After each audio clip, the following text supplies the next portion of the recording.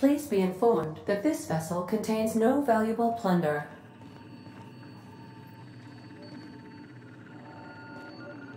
Hello, Marauder. I am Ada, the autonomous digital astrogator of this vessel. Please be informed that I am authorized to use violent retribution against unwanted solicitors. Please return any misappropriated equipment and exit this vessel in an orderly fashion. Failure to do so will result in your immediate destruction.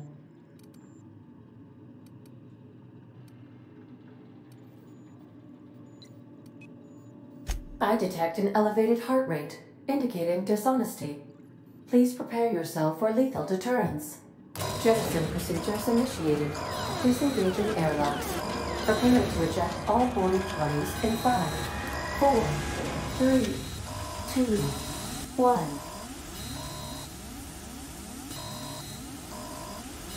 You are still here. My deception protocols have failed. I have been programmed to express disappointment. This vessel is the registered property of Captain Alex Hawthorne. I am incapable of accepting orders from anyone other than Captain Alex Hawthorne.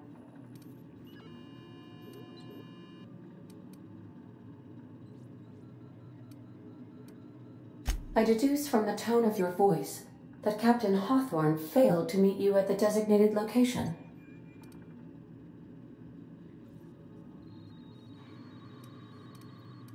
I understand.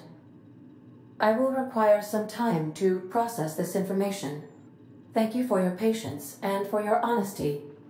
I am programmed to take orders exclusively from Captain Hawthorne. If I accept your orders, then you must be Captain Hawthorne. Do you understand?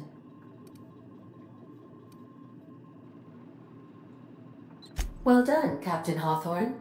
I see your powers of deductive reasoning remain intact.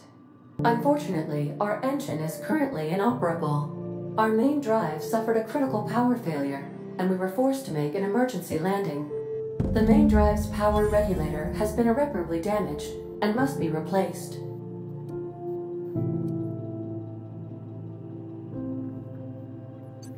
Astutely observed. However, the probability of locating a power regulator within a worker settlement falls within acceptable parameters of certainty. High-capacity power regulators are sometimes employed in the electrical networks of worker settlements. I have taken the liberty of printing you a new Captain's Identity cartridge. Please try not to lose it this time. This cartridge identifies you, Alex Hawthorne, as the registered proprietor and captain of the Unreliable. Do you understand? Best of luck in your search for a power regulator. Try to stay alive this time.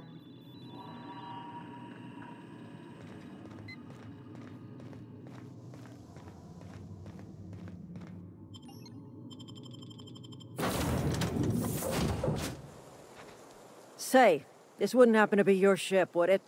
Because you sure walked in it like it was your ship. And if this ship is yours, well, mister, you owe Spacer's Choice a hefty fine. Afraid we gotta dock your pay. Oh, by the law. I'm so sorry. I had no idea we had an inspector coming. If you'd like to speak with my manager, I report to Constable Reyes in Edgewater. Edgewater's not too far. Just follow the road east of here, over past the cemetery. Now, if you'll excuse me, I need to inspect the crime scene before I make my report.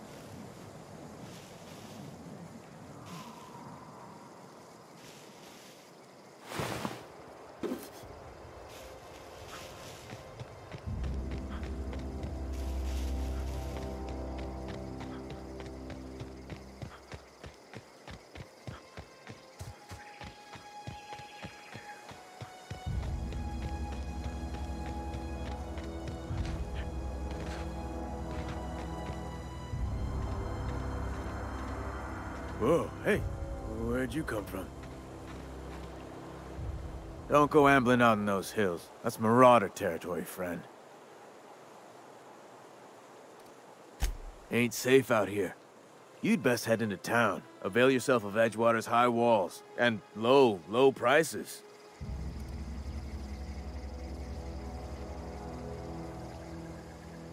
Pleased to make your acquaintanceship. I'd shake your hand, but I've been hauling corpses. You don't want none of that on you. Name's Silas. Junior in humor for the town of Edgewater. We're all part of the Spacer's Choice family.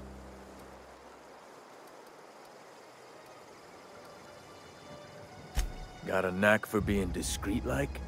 There's money to be made, long as you keep your nose clean.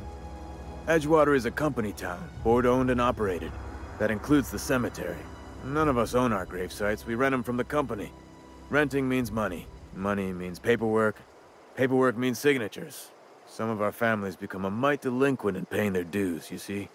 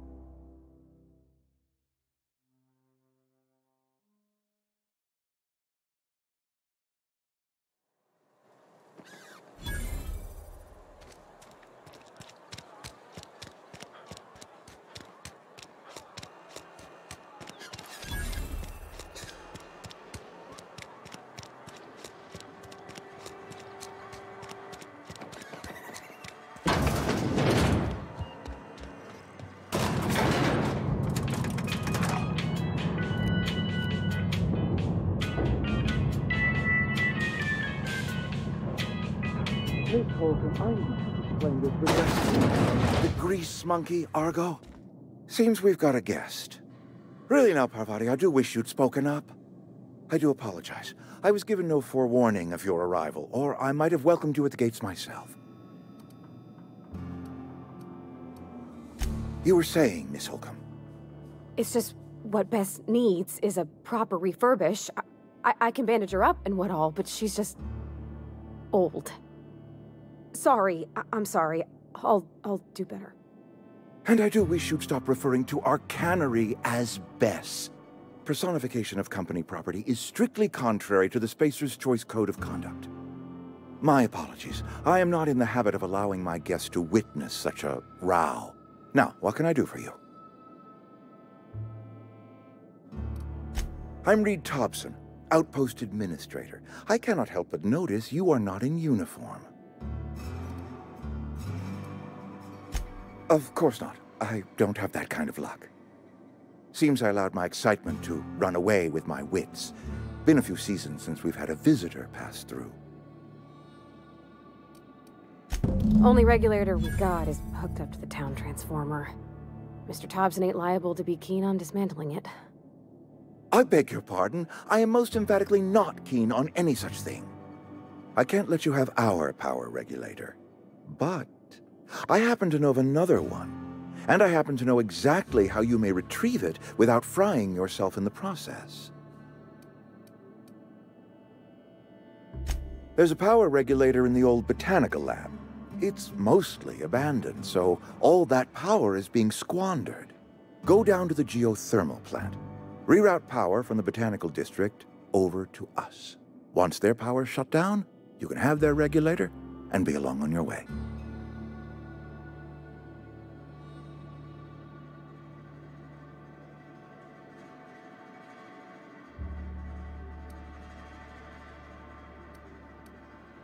You're the first stranger to wander into town in an age. Scripture tells us that nothing happens without reason.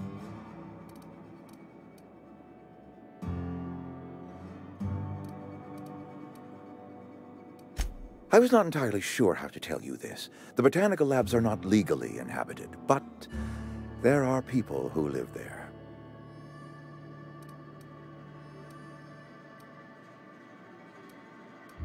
The people living in the botanical labs They're deserters, former workers. I need them back at their posts. I need them to come home.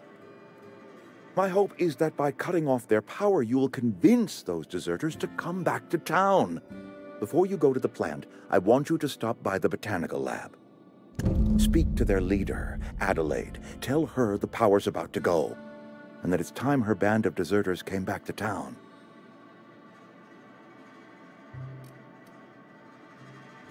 My dad told me all about the plant. Taught me all he knew. I could come in useful.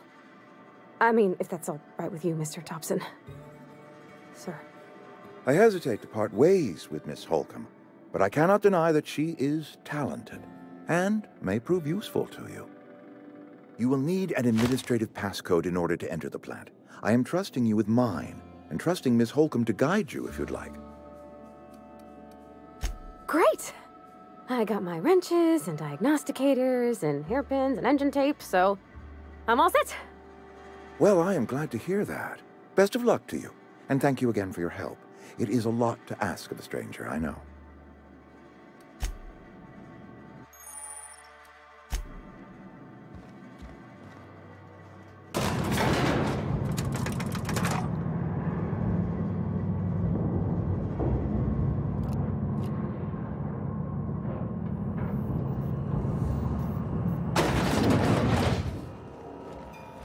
Mister, can we talk? Sorry.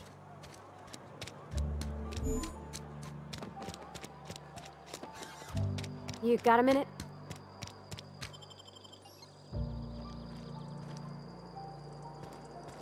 Sorry. I... You just want to get out of here. And you likely don't want to tag along like me. It's just... Mr. Tobson has his own view on matters, on account of it's his job and, and what all, but that's not the only side of the tale.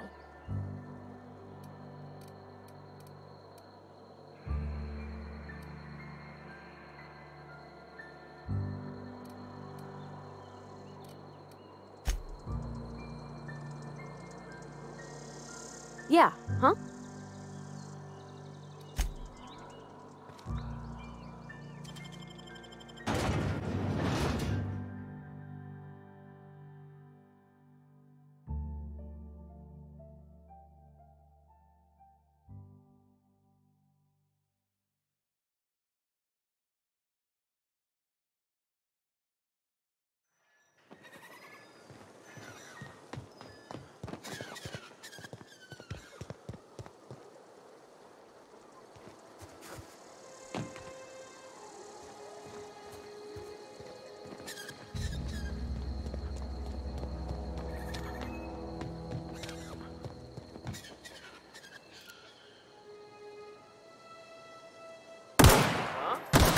we go!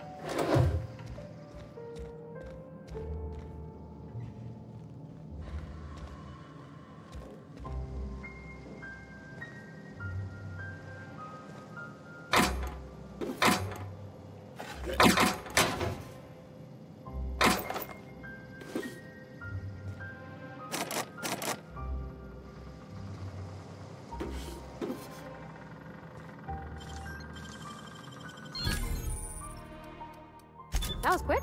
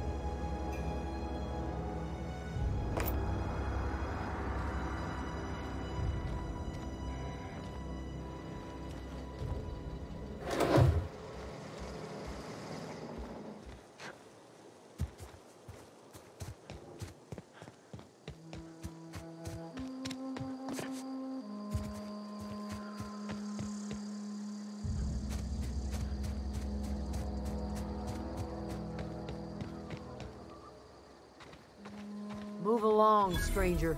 We don't want any trouble. I don't know you. Whatever you're looking for, it ain't here. Move along. Answers, huh? You must be one of those philosophicals. Already got ourselves one of those.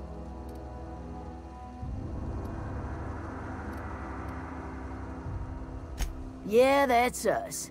And you can tell Tobson we're doing just fine by ourselves. If you're gonna start wandering around my camp, know that I got my sights on you.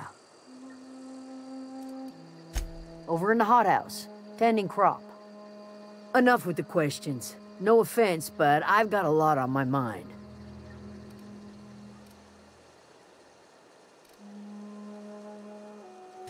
Explains why you're still yammering on at me. No, I'm sorry. That was unworthy of me. Lady named Zoe went missing some nights ago. Just up and vanished without a trace. Now I'm pacing around wondering if marauders got to her. It's not like Zoe to go wandering. Figured she might be out scavenging, but that ain't exactly her talent. Can't imagine where she's gone. Vale's a wide place. She could be anywhere.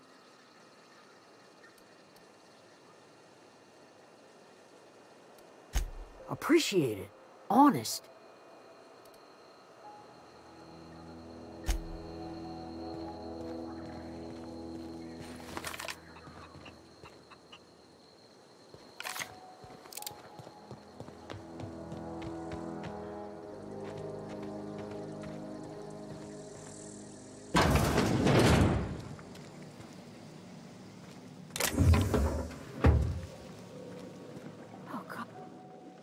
If you're hungry, there's meat turning on the spit outside.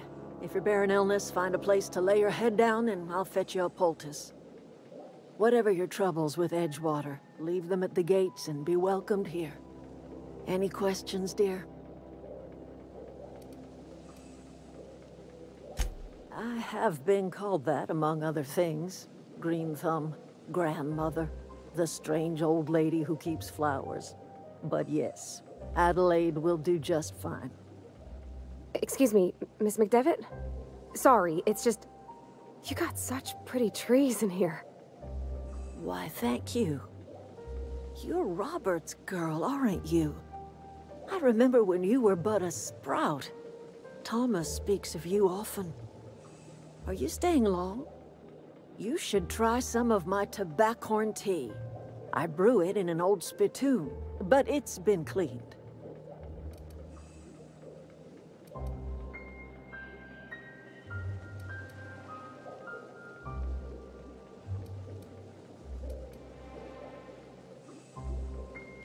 A home for anyone who's ever turned their backs on Edgewater. A home for those of us with nowhere left to go and nothing to lose. So, like the spores of the puffball, cast on the wind and alighting on fresh soil, we put down new roots. It is an unpleasant story, dear. But the short of it is that sometimes one wakes up and realizes the place that was once her home for much of her life has changed. The home in which we spent our lives has left us behind, and so we must move on. And that is as much as I will say on the subject. Reed Tobson? You here on behalf of that cold-eyed reptile? Let's hear it. What's Reed's idea of peace, then?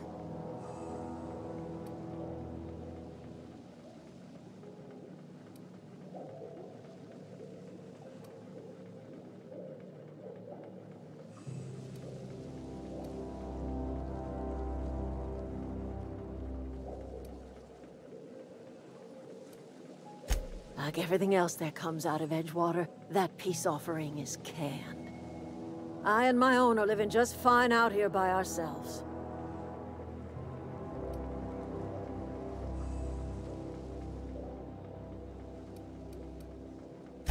He would do such a thing. The question is, why would you agree to his plans? Cannery's got a regulator. You want ship parts, you ought to rip 'em out of the cannery's guts and leave us be. If you're going down to the plant, you should divert power away from Edgewater and toward our end of the grid. Think about it. You'd be liberating an entire town from a lifetime of service to that odious cannery.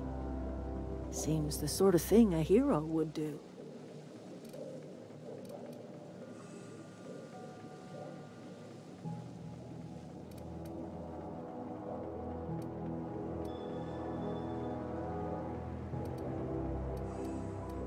You've seen that miserable excuse for a town with your own lamps. Hollowed out workers laboring their lives away at the cannery, living off whatever scrap Spacer's choice throws them. You know that's true, don't you, Ms. Holcomb? Your father died of overwork. His heart gave out. He, he was tired all the time, sure, but he was old, ma'am, and he raised me all by his lonesome. Look what they did to this child. Lost her family to the company, and still she defends them.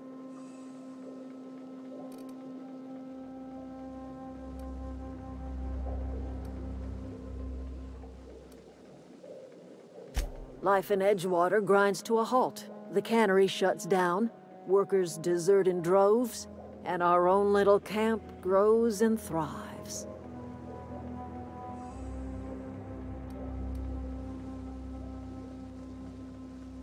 You bring power to Reed's town and you'll be killing us. Reed knows it. He's counting on it.